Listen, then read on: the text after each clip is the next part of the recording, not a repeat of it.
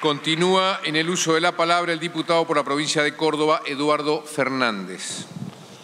Gracias, presidente. Estamos abordando esta discusión, pero con una base ética, no son objeciones de forma.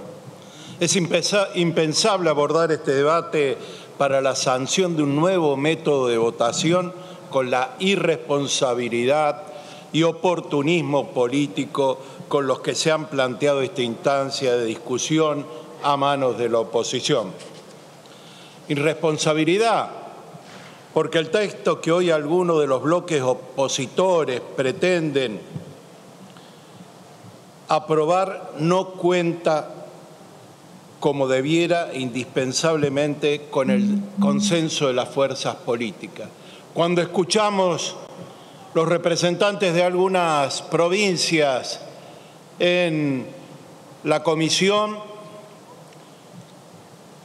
en verdad, en ninguna provincia, cuando se hizo el cambio de método electoral, faltó el oficialismo. Hoy se le está proponiendo a este Congreso en base a un acuerdo donde no participa la principal fuerza política del país, que es Gobierno Nacional, y se la trata de eh, deslegitimar con argumentos como que tenemos miedo al cambio. Somos nosotros los que hemos propuesto mejoras para la democracia. También de decir que eh, no estamos tratando un proyecto que tenga la suficiente rigurosidad técnica y analítica que no vamos a poder hacer en esta sesión, ni es nuestro objetivo, pero que muchos de sus defensores reconocen en la intimidad y saben que las formas de implementación no han sido precisadas a pesar de las modificaciones que agregaron al dictamen a último momento, y menos aún si son viables en los plazos para las próximas elecciones como se ha propuesto. El principal argumento ha sido la necesidad de optimizar la legitimidad de los procesos eleccionarios y sus resultados. Y no es cierto que la implementación de la boleta única sea una herramienta necesaria a la transparencia del sistema electoral y que su vigencia se vincule directamente a la legitimidad. Mire, desde 1983, como lo ha dicho ya otros miembros de mi bloque, a la actualidad no ha existido ninguna duda fundada a nivel institucional respecto a los procesos eleccionarios, a cargo de ninguna de las fuerzas políticas, a cargo del Ejecutivo en las distintas etapas. Al respecto, la postura de la justicia electoral es clara y muestra la solvencia de nuestro sistema electoral. Y ha dicho, siempre hay diferencias mínimas entre los telegramas y las actas, por lo menos desde 1983 pero en el escrutinio definitivo se cotejan las actas con los certificados de escrutinio y si aún hubiera diferencia, se abren las urnas, lo que generalmente no ocurre. La diferencia entre escrutinio provisorio y definitivo es históricamente menor al 1%. Eso ha dicho nuestra justicia electoral.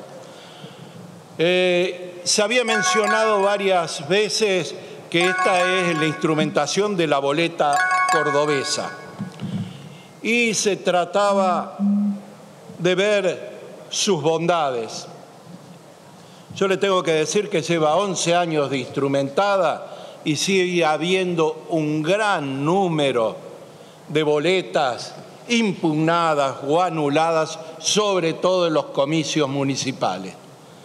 Esto le ha costado a las fuerzas menores. Es absolutamente mentira que esto favorezca a los partidos minoritarios.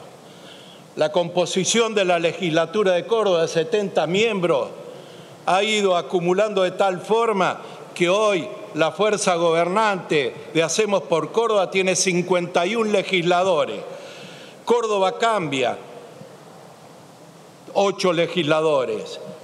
Y Unión Cívica Radical 7, es decir, Juntos por el Cambio 15 legisladores, 2 la Unión Vecinal y 2 la fuerza del FIT y el MST. Es decir, hubo un proceso de acumulación, es decir, no hubo cambio. Hay que decir, también lo ha dicho un diputado de mi provincia, que han tenido que repartir facsímiles de las boletas. ¿Cómo? ¿Estamos ahorrando papel? Estamos ahorrando, mire, eso llevó a la confusión que hubo una gran cantidad de boletas anuladas, porque los facsímiles los llevó la gente y los introdujo en la urna. Ese es el problema. También decir que esto favorece a la concentración de, de las fuerzas mayoritarias. Por último, se ha insistido en la participación ciudadana.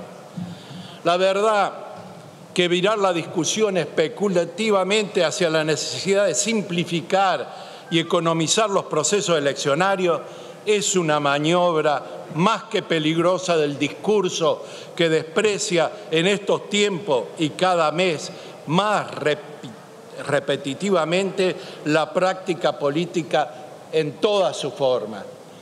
Diputados, diputadas, ¿quién va a controlar las boletas? Tiene que haber fiscales. ¿Saben la cantidad de impugnaciones que hay? en ese marco. Sí, presidente, hay redondeo, pero hay que decir que la militancia política que por ahí es denostada por la fuerza oposición, por nosotros es reivindicada como un éxito democrático y, y, no pensarlo solamente en términos burocráticos como estamos discutiendo esta ley hoy aquí en el recinto. Somos abiertos a todas las opiniones y a todas las reformas. Pero queremos acuerdo y creemos también que los argumentos tienen que ser totalmente conducentes a un nuevo sistema electoral imposible de instrumentar en tan poco tiempo. Gracias, presidente. Gracias, diputado.